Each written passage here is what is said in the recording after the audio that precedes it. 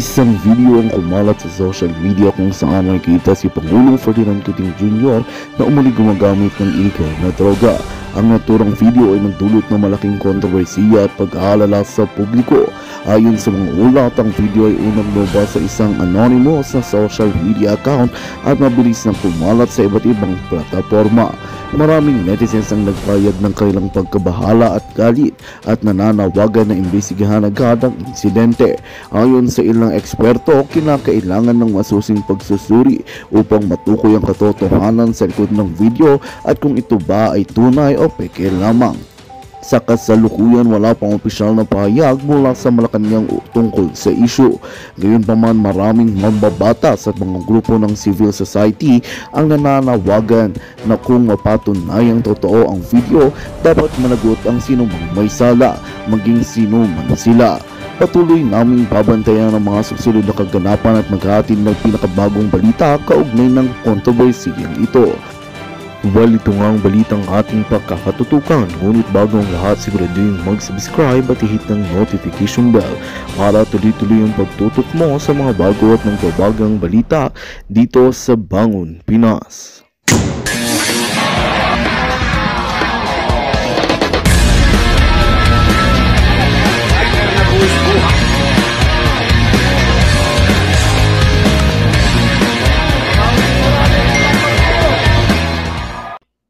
Ganon ang ah, dapat ang isipin ninyo. Sneak peek. May nag-sneak, parang, parang may nag-sneak peek. May, may, may nagpakita ba? Parang may nabasa ako. May, may nag-leak na nga yung video, nakakaloka, nag-leak na. Hmm. Bilang isang Pilipino, ipinanganak sa Pilipinas, lagi niyong sinasabi na kayo ay proud Pinoy. Magiging proud ka pa ba? Kung makikita mo ang bangag mong presidente ay sumisinghot ng polboron. Yan ang malaking katanungan na dapat ninyong sagutin. Actually, mga palangga, dahil umiikot na ang tumbong ng mga jutang Genemes, okay do. Alright? Alam mo ginawa nila. Okay? Alam mo ginawa ng gobyernong ito. Gumastos na naman ng multi-milyong piso para magpa-print ng uh, TARP na kung saan nagmamakaawa sila sa taong bayan na panoorin yung sona niya. Here we go. Alright. Ipakita kaya natin. Ipakita ko kaya. But anyway. okay. So nakita ninyo, State of the Nation Address. Ayan.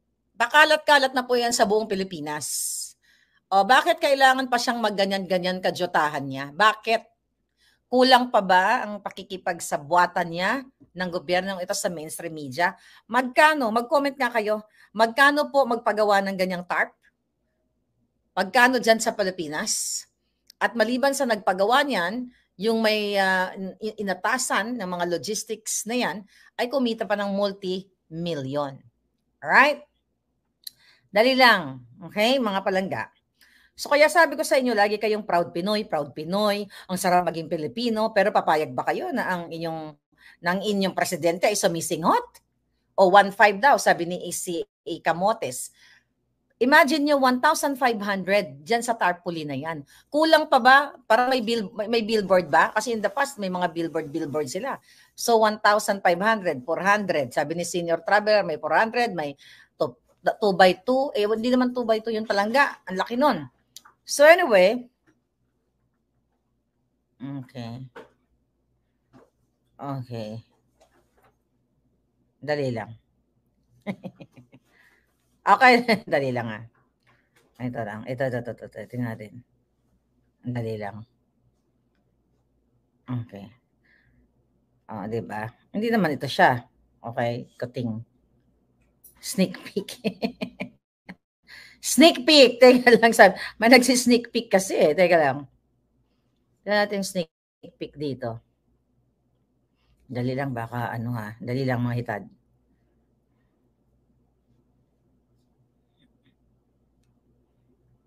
Hindi, baka kasi maano to eh, ma-chorvanes.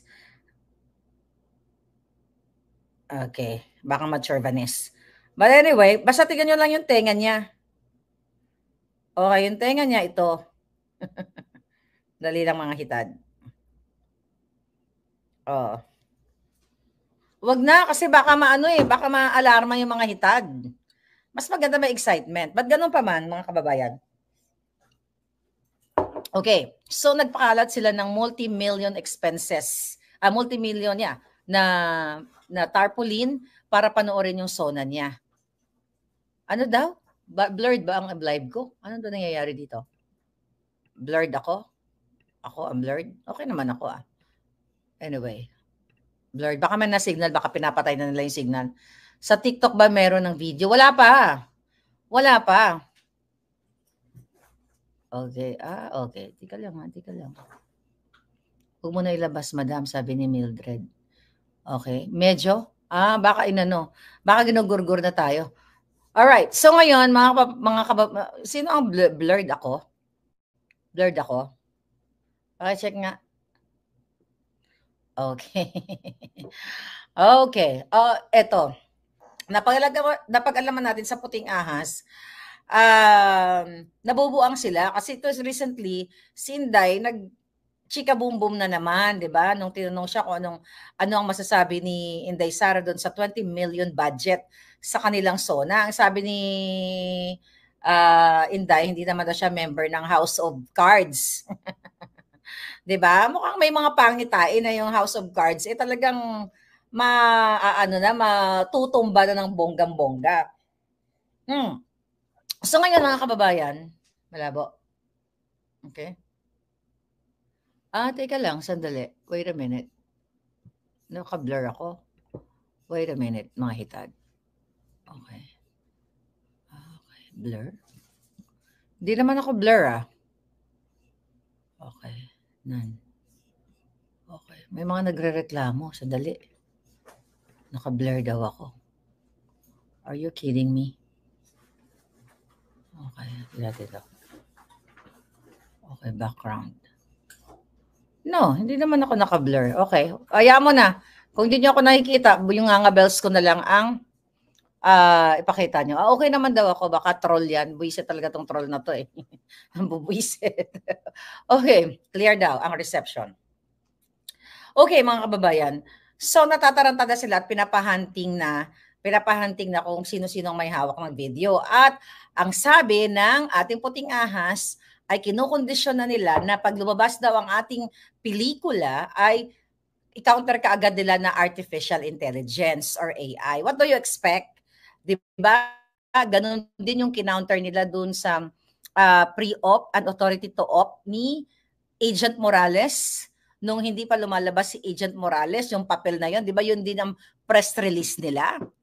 Then, nagkaroon ng Senate hearing at nakita ninyo, talagang nanganak, nanganak, nanganak ang ka, kavabuyan ng gobyernong ito na totoo na meron talagang pre-op and authority to op doon nung time na yon at sinumpaan mismo ni Agent Morales. So ngayon nagpapalaga nagpapakalat na sila ng pang-counter dito. Ganon naman talaga. Siyempre, kung yung kung yung dalawang papel na yun pinaka, pinakalat na nila at uh, sinasabi nilang artificial intelligence, pinatanggal nila sa Daily Tribune, naalala mong kajotahan ng gobyerno ito, pinatanggal nila sa Daily Tribune, ganun po kawalang hiya ang gobyernong ito. Kaya sabi ko sa inyo, mamaya, umaga na ba dyan sa Pilipinas? Okay. Ang nagtatanong, anong oras? Okay, final na to. Wala na tong atrasan. okay, anong oras? Surprise! so ngayon mga kababayan, mm, mga palangga, pinapaka, nagpapaano na sila, nagpapa, laganap na sila ng ano ngayon, ng Black Ops kay Maharlika. Okay? Alam niyo naman na gusto kong gurgurin ng mga hinayaw, hinayupak na yan, pero nagpapakalat na sila ngayon kung paano nila i-counter. So number one, AI, ginawa ni Maharlika.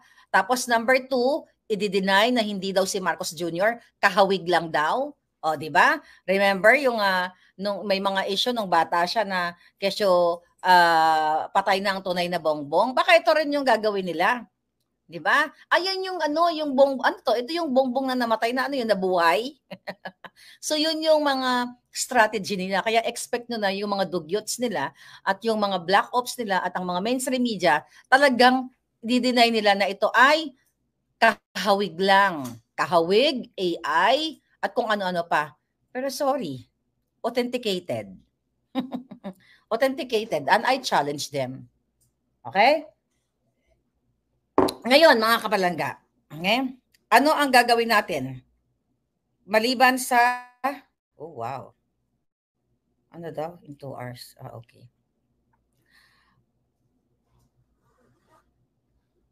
Okay. So ngayon mga palangga, babagsak na ang pamumuno ni Lisa Tanas at ni Bangag.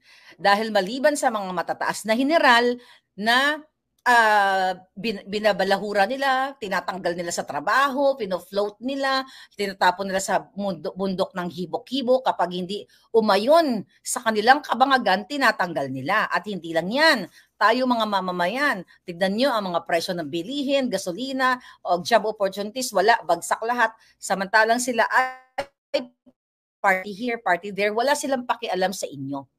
And now, ito, uh, breaking news actually ito, abangan ninyo, ayon sa ating puting ahas, abangan nyo kung sino sa mga cabinet secretaries ang hindi dadalo bukas. Kasi itong cabinet secretary na ito daw, ayon sa puting ahas, may paninindigan. O at least ngayon lang siya may panindigan for two years. Okay. Sabi ng ating puting ahas, ang cabinet official, okay, na may sinasabi, ah, na may sinasabi yung kanyang ang kanyang ang kanyang family name o pangalan, okay? Ito ay mula sa Mindanao. May sinasabi sa Mindanao na nilagyan ng budget insertion ni Tambaluslos na 27 billion sa kanyang ahensya. Okay?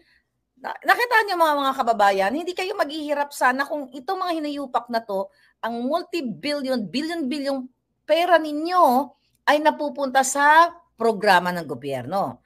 Okay. Ayon sa puting ahas, sinisingil na ito ni Tambaloslos. Okay, sinisingil na ni Tambaloslos itong cabinet official na ito. Ngutit hindi daw niya masikmura, okay? Hindi masikmura nitong cabinet official na ito. Kaya hindi niya masikmura na yung ginagawa ni Tambaloslos sa kanya. We're talking about 27 billion. Kaya nagdesisyon na mag-resign. Magre-resign na lang itong cabinet official na ito pero hindi daw pinayagan ni Bangag Marcos Jr. Kasi kapag na siguro kapag uh, uh, naging successful ito kasi destined na siya I mean ano na siya decided na siya na mag mag uh, resign eh, pero pinayagan ni Bangag kasi tikita mo ano yung magiging impact eh yung katandem niya na si Inday Sara, naka-unitim unitim niya, marriage made in heaven. Yung pala, marriage made in hell. Okay? Una na nag, well, wag na tayo pala lumayo, si Attorney Vic Rodriguez, ang executive secretary, di ba? And now, uh, si Inday Sara, then itong cabinet secretary na ito, na ginagamit ni Tambaluslos para mangamkam, ayon sa ating source. Okay. Sabi sa Miss Maharlika, pakisabi sa inyong mga palangga, abangan na lang nila na hindi ito sa support sa araw ng SONA. Dahil sabi ganon, ito ay kumpirmado na na tuluyang tatalikod sa bangag na administrasyon. Nagsabit na siya ng resignation. Okay?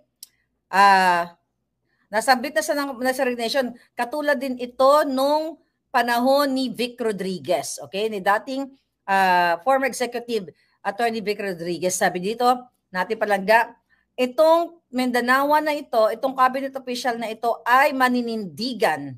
Okay? Manindigan daw ng isang magandang kinabukasan. Okay? Para sa mga anak at pamilya nila. I hope manindigan kayo talaga palangga. Oh, breaking news. Si breaking news, ito mo ha, itong, itong mga binabasa ko sa nasa loob ng Malacanang tong ahas na to. Puting ahas to. Okay. Breaking news, Okay? Si uh, Cheloy Garapil, yung binoljak natin kahapon, na sinasabi uh, ako daw ay nanghingi ng malaking halaga, wala ka namang mapakita Cheloy. O ngayon Cheloy, hindi mo ma, hindi mo na masikmura. O nag-file na rin daw ng resignation. Ayon sa ating source ha. Na, na ano na ba to? Na ibalita na ba diyan? Ay kasi ano to, real time tayo. Ina-update tayo ng mga ahas na putik sa Malacanang. Okay, so dalawang cabinet official na ang yung isa nag-file na ng resignation at si Jotoksky, okay? Ah, nag-file na rin, okay? Nag-file na rin ng resignation. Tignan natin.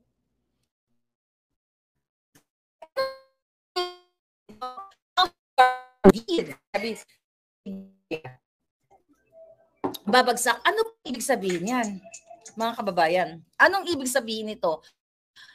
Ano ibig sabihin, weak na yung leader mo? Bangag na yung leader nyo. Eh, lalo kung maging showing ng pelikula. Ngayon, I challenge you people. Tulungan nyo ang inyong mga sarili. Itong ginagawa ko, ay, ay talagang pupuntiryahan ko kayong lahat, kahit mga palangga ko kayo. I challenge you, inilagay ko na sa peligro ang buhay ko paulit-ulit. Paulit-ulit kong sinasabi sa inyo, nagugurgurin ako anytime kapag nakakuha sila ng tiyempo. Binuwis ko ang buhay ko for two years nung binangga ko ang mga mambubudol na mga hinayupak na ito. Minuran niyo ko. Di ba? Nagalit kayo sa akin. Si Maharlika, loka-loka yan, buang yan, dadadadada. Ganon, kung ano pinagsasabi yun, lagyan niyo ako ng sungay, whatever.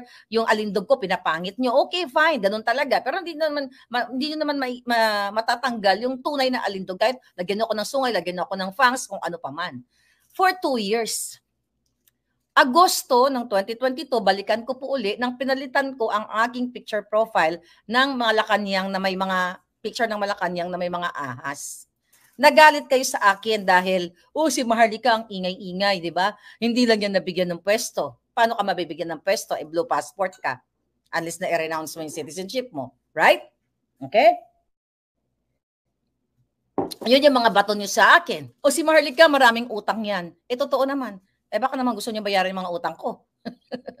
'Di ba? Baka naman may mayaman 'yan, oh. May mga utang talaga. So ang dami niyong binato, pero nasaktan ba ako? Hindi.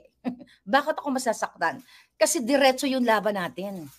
Noong October, na sinabi ko sa inyo na may pulburon video, pinatrend natin ang pinatrend.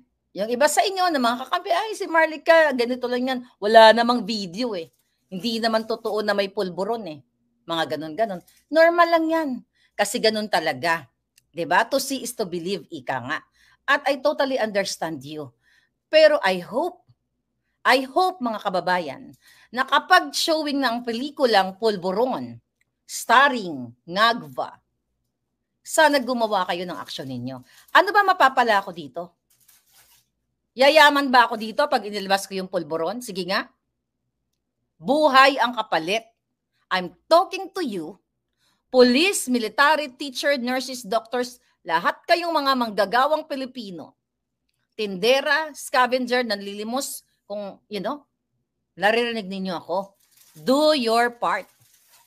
I'm serious kasi pag hindi nyo ginawa ang part ninyo, bala na kayo sa buhay ninyo.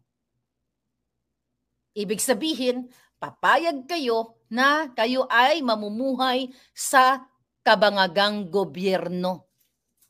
Kita ninyo, you compare, buti pa nung panahon ni, ni Noynoy at ni PRRD, hindi nagkakalayo yung kanilang expenses during SONA.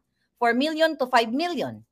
Based doon sa nag-send sa akin na report, I think that was, uh, ang tawag dito, uh, anong time na, basta nung panahon ni Noy at ni Pangulong Duterte, 4 million to 5 million lang yung gastos. And now 20 million ang pakakainin ng mga buwayang mga ginayupak sa kongres, sa kongreso.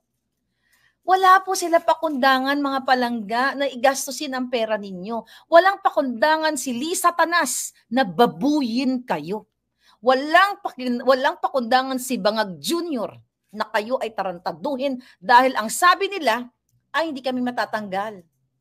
Sa, uh, wala, ito, ito ang exact dialogue nila sa loob ng Malacanang They don't care about you Filipino kasi sila ang nakapwesto. Kahit magngalngal si Maharlika, magngalngal kayo sa anomalya sa PCSO. Okay? Yung pagnanakaw dyan, nila na walang habas, pag nanakaw, smuggling lahat, wala daw po silang pakialam sa inyo mga kababayan kasi sila ang nakapwesto. Dahil ayon sa ating mga source, sa ating mga puting ahas, nilalangisan nila yung mga taong nakipagsabuatan sila sa panggagancho. Imagine niyo for sure, may mga PSG na nag-resign na dahil inuutusan ni Lisa Tanas na mangolekta kay Altenco based sa ating report sa PAGCOR ng 150 million pesos. A week we're talking, PAGCOR pa lang. Wala pa po yung bribery ni Lisa, wala pa yung ano niya sa Okada, wala pa sa Department of Agriculture. Eh, ayon sa ating source, di ba? Eh, well, hindi sa ating source. Mismo si Attorney Vic Rodriguez sa kanyang book, na kingmaker, sinabi niya doon na talagang yung yung uh, donation money eh nandoon talagang marami bonggang-bongga. Kaya bumili kayo ng book niya. All right? So ngayon mga pabayan, ito yung ito yung sinasabi ko sa inyo. Pababayaan niyo lang bang isang bansot, okay? Ang isang amoy surot. Itong hitad na ito na bartek, walang ginawa, humawak ng alak, magsigarilyo, at sa bawat, bawat hit-hit, bawat singhot nila ay pera ninyo. Ulit-ulitin ko, kung kayo ay matatalino, which is alam ko namang matatalino kayo, mga palangga kayo, at yung iba mga jindot. Ayun kape, lagyan mo ito ng hot water, please. So ngayon, mga palangga, ulitin ko ha, anong mapapala ni Maharlika dito? Kamatayan. You have to act now.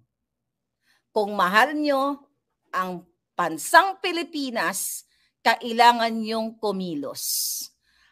Ako, okay, kaya hindi naman napakaganda ang, ang buhay ko dito sa Amerika, di ba? Okay? Ang dami na rin mga kaletsehan dito na mga nangyayari. Pero ang ibig ko lang sabihin sa inyo, ang unang-unang naaapektuhan ang mga anak ninyo high crime rates now. Nandudukot ng mga kababaihan, kabataan na bakit pinagtatanggalan ng mga kidney. Hindi natin alam, baka binenta ni Bartek yan sa mga pasyenteng multimillion. I don't know. Di ba? Hmm.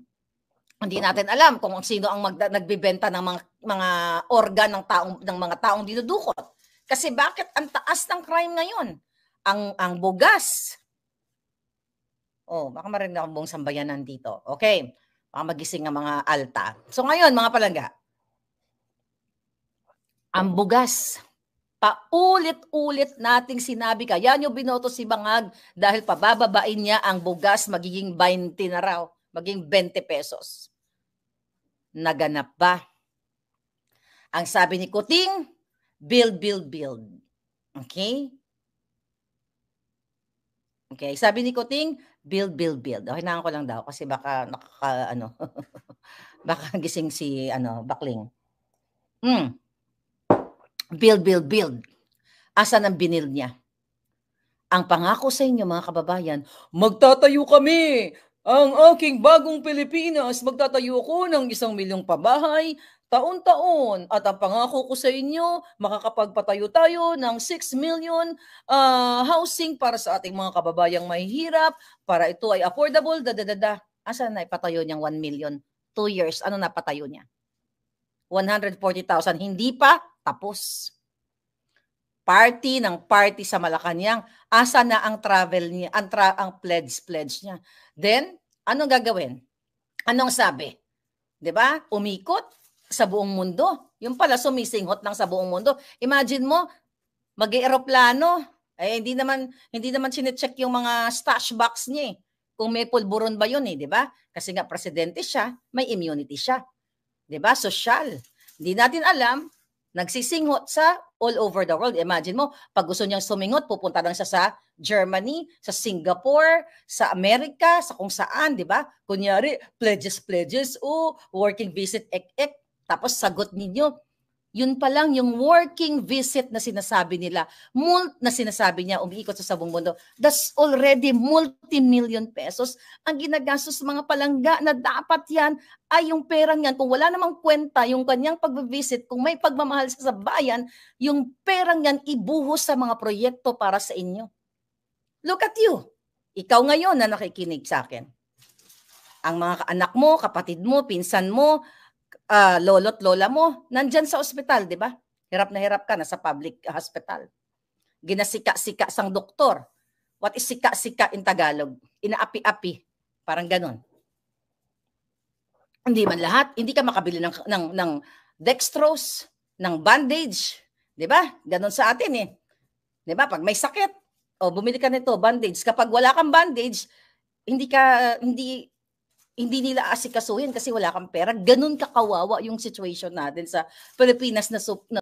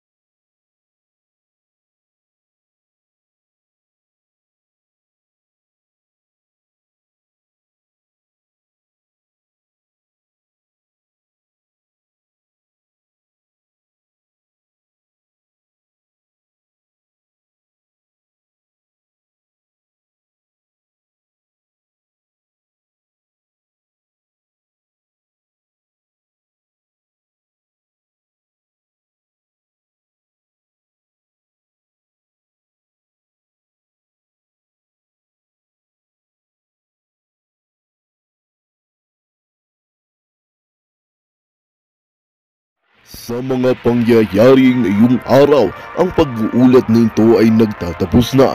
Naway nagbigay ito ng karagdagang kaalaman at pag-unawa sa mga pangyayari sa ating lipunan. Patuloy tayong maging bahagi at mapanuri sa mga susunod na kaganapan. Maraming salamat sa inyong pagkikinig at pagtangkilik sa aming balita. Hanggang sa susunod na pagkakataon, ito ang Bangon Pinas, nagbabalita para sa inyo.